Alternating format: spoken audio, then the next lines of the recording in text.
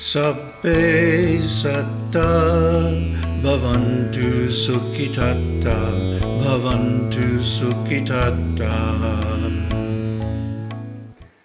Hello, I'm Dave Jacobson. Actually, my name is Dhammasara Thero. That's my monk name. That's why I'm wearing these robes today, because today I want to talk to you about discipleship. Now, for the last few weeks, I've been doing a series on Nibbana. And there's something like 15 videos in this series or something like that. And in all this time, unfortunately, no one has responded with any substantial questions, even though the subject matter is extremely deep and the treatment I've been trying to give it has been very detailed, uh, going back to the original suttas, or the words of the Buddha himself.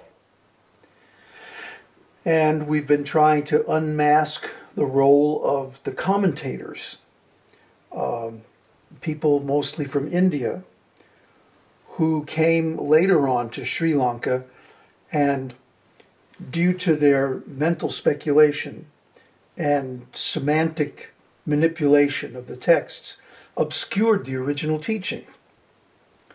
So, what we have today, especially in Western Buddhism, but also in Sri Lanka, Burma, Thailand, and like that, is a religious organization that claims to present the teaching of the Buddha but all they're really doing is promoting a religious agenda, a hierarchical organization, which does not follow the Buddha's actual principles or practices. This is a big problem. So when people think of Buddhism, the only thing they know is a bogus teaching that has been propagated by self interested people who are trying to further their own careers. That goes all the way back to you know, more than a thousand years ago when these uh, altered commentaries started to appear. So it's very important uh, that we go back to the original words of the Buddha and try to reconstruct the actual practices of the monks of his time. Why is that? It's very simple. Do you want to reach enlightenment? Do you want to be free from suffering?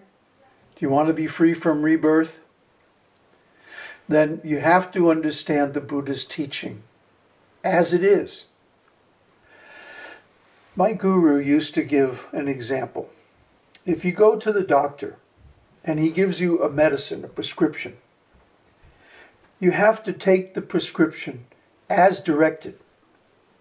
If you take too much, you can risk an overdose, especially if it's a powerful medicine.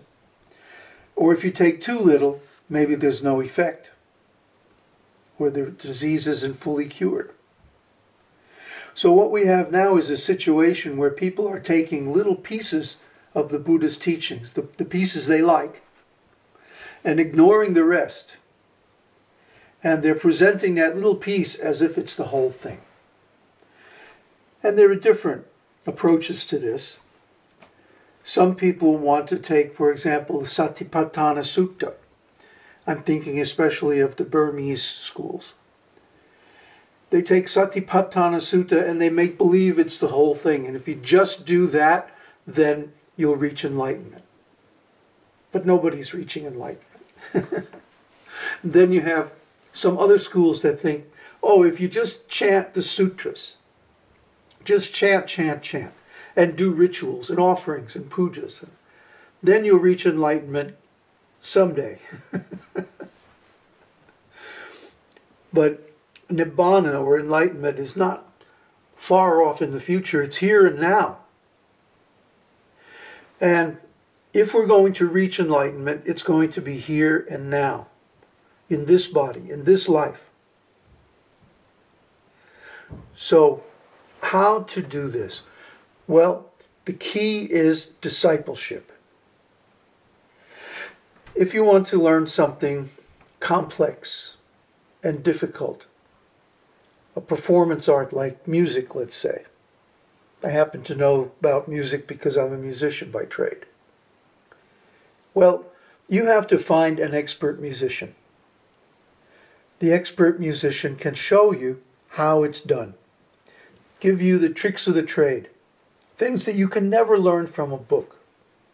I remember, for example, when I was trying to learn how to produce the proper tone on the flute. And I was reading books and I was practicing. And this went on for quite some time until I went to conservatory and I got an actual professional teacher. And in five minutes, I learned more about producing tones on the flute than I had in the previous 10 or 15 years of practicing. So it's the same with meditation. You can read books on meditation. You can practice by yourself. You can even go to retreats and stuff like that. But until you meet someone who's actually realized and sit down with them and absorb their vibes, huh, it's not going to be able to take you to the highest. It's not going to be able to release the potential that's dormant, that's latent in you. So, no matter how much you practice, no matter how much you study, no matter how much you think about it, you're not going to be able to break through. Why? Because you don't have the experience of someone who is actually realized. That's essential. And you can't get it from a book, you can't get it from a recording, you can't even really get it from a video. That's one thing. Another thing is what about your questions? If you've been practicing for more than two minutes, you must have some questions. If you've been practicing for longer and you're still not getting the result, you must have some questions. There must be some obstacles. There must be something you're not getting. You read in the suttas, someone went to the Buddha and they got their meditation practice directly from him. And then in at least 27 places in the suttas that I know of, you read, and then after he saluted the Buddha and walked around him three times, he went off by himself in solitude. And in no long time, he reached the goal that is given by all the suttas and all the Buddhas for all time. In other words, he became enlightened. In no long time. So if you've been practicing for a long time, what's a long time?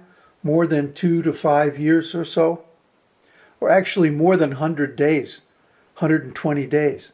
If you haven't reached a release point, if you haven't had an oceanic experience of connection, with Nibbana, you're doing something wrong. You must have questions. You must have doubts. You must have misunderstandings. So, why isn't anyone coming forward? Why isn't anyone expressing their doubts and questions and fears and so on? Well, I have a theory about that. Last week, right here where I stay. We had a yoga workshop. And these are people who are supposed to be inquiring into spiritual life. And although I didn't participate in the workshop, I was here. I was available the whole time. And no one approached me. No one even tried to start a serious conversation with me. It was all just social banter, light talk, which I have really no need for or patience with whatsoever. The only person who I had a meaningful conversation with was the leader of the workshop.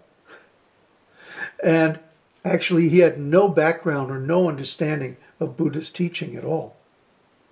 He was just trying to understand me as a person. Like, why was I here and not participating in the workshop? Well, I already studied Kundalini Yoga decades ago and got the result.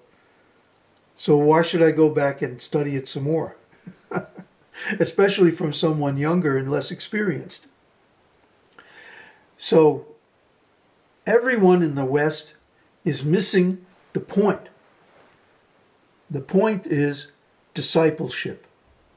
To apprentice yourself to someone who knows, to someone who has realized, to someone who has got the result. What result? Nibbana. Someone who understands Nibbana, someone who has experienced Nibbana, is in a position to evaluate the various teachings and approaches and see them for what they are. Nobody else is. To give a mundane example, it's like there's someone sitting on the mountaintop. And they know they've been up and down the trail, they've been up and down the path leading to the mountaintop. They know how to approach that place. And they can see also in every direction all around. And if someone is trying to approach that mountaintop from the wrong way, they can very easily see. And they can very easily say, no, no, don't go that way. Come over this side and try this path. This is the path that really leads to the top. Because when you're climbing a mountain, it's very easy to get lost. Very easy to go off the path. Very easy to find yourself in a place where you can't make any further progress. I know. I've been all over this mountain for almost 70 years now. And there are plenty of dead ends, plenty of blind alleys, plenty of trails that lead no place.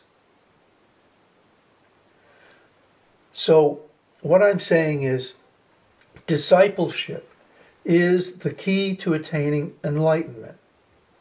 Now, if you just want a little peace of mind or you want to overcome some of your personal problems and deficiencies, if you want to get a little skill in meditation or concentration, I suppose you can learn that from a book. I suppose you could learn that from a video or uh, just going to a meditation retreat or something like that. But you can do that your whole life and never really arrive anywhere. I think I mentioned some time ago an acquaintance of mine, a psychiatrist from New York. And he's been going to Thailand every year for 25 years. Every summer, he spends at least one month meditating intensively. And he hasn't overcome even his uh, family upbringing and childhood neuroses and all that. 25 years. So, yeah, you can waste a lot of time. You can lose a lot of effort following a wrong path and get very little result in return. And you can justify it, you can rationalize it, you can uh, make up stories about why you haven't got there. But let me tell you the real reason. The real reason is because you won't surrender. You won't approach someone who knows and become his disciple. Now, you might say, well, you're not anybody's disciple. You're not living in a monastery or anything. Well, let me tell you. When I was 27, after a search that lasted more than five years, I found my guru. My music teacher introduced me to him, and I could tell immediately that he was far beyond any of the other spiritual teachers that were available. So I became his disciple. And I followed his instructions for more than 30 years. Whether I was together with him or I was apart from him, I followed his orders. I followed his directions. I became a disciple and I followed. That connection is essential. Later on, after he passed away and his organization deteriorated to the point where I couldn't be part of it anymore, I started my own organization, but I was still his disciple. And even after that organization didn't work out, and I dissolved it, I resigned from being guru myself, and went in search of a new teaching, I found the Buddha's path, and I began to follow it, and I still kept looking for a teacher until I found one who I could accept as a master. And that's Bhikkhu Nyanananda. And I've only met physically with Bhikkhu Nyanananda one time for four hours. But I've studied all his books and I've understood his teaching and I've realized it. So, with his permission, I am presenting his research in the series on Nibbana. So, this is the key this relationship of discipleship. And it's not just a one way street. It's not like you can sit in your home and say, Oh, I'm a disciple of so and so. No, you, you have to go to that person, bow down to them, touch their feet, and convince them that you really want to be their disciple. And when they accept you, this is a very big deal. That's why it's called initiation. Initiation, to initiate means to start something. So, what is beginning at the time of initiation is this relationship of discipleship. That's why sadhus put a little picture of their guru on their altars. That's why we every day perform prostrations, bow down to our master. Because this is discipleship. This is the key. This is the way. This is the door. Jesus said, I am the door. I am the way, the truth, and the life. No one cometh to the Father but through me. That means he became a disciple of John, and he expected his disciples to follow him like that as well. So we're not asking anybody to uh, make a martyr of themselves or anything like that. That's uh, a bit extreme. But what we're asking you to do is to have a personal relationship with a teacher. The teacher that you feel most accurately represents the Buddha's teaching and the practices of the Buddha's path. The teacher that you find speaks to you in a voice that you can understand. And then make yourself a disciple. Go to that teacher. Offer him some tribute. Offer him some relevant inquiries. Offer him some real respect and love. That's the only way you're going to get it. Don't be a dilettante. Don't play with this teaching you'll waste your time. Instead, do the right thing, do the best thing for you. Become a disciple. Sabbe satta bhavantu bhavantu sukhitatta